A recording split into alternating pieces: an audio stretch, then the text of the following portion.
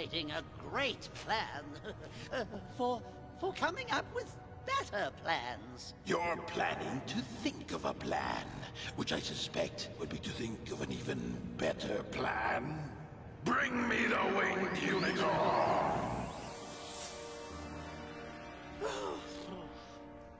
My genius brain will come up with a fantastic plan. Any moment now. Of course, no hurry. There's plenty of time.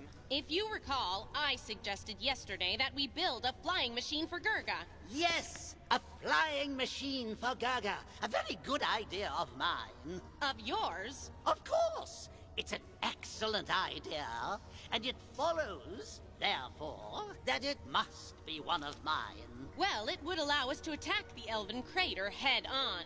Yes, we could stage a surprise attack and swoop down into the Elven crater from above.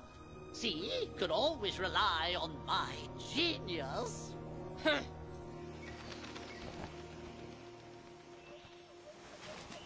Hmm. Hmm. Spectacular timing as usual. If you're here for refunds, I've already told you, I don't give them. No, it's not that. We're looking for our friend, Scrobbit. Scrobbit? Funny name. Even for an elf. No, he's one of Rixel's circus animals, about this big, cute.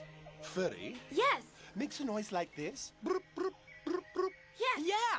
Sorry, haven't seen him. Goodbye. Well, I suppose we'll just have to keep looking then. Come on, let's go. So, elves are desperate to find my new friend. No doubt his sparkly treasure has something to do with that. It may well be even more valuable than it looks. Hmm. Here, little scrubble, oh, scribble, oh, scrub it.